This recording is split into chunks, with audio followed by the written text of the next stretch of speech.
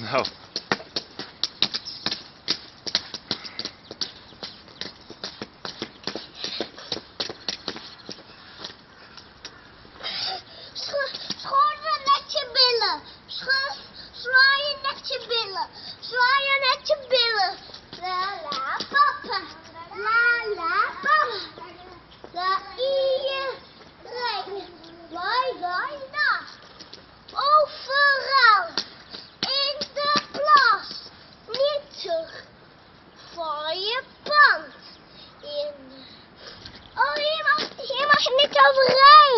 Nou, zo we Sarah maar weer eens even opzoeken?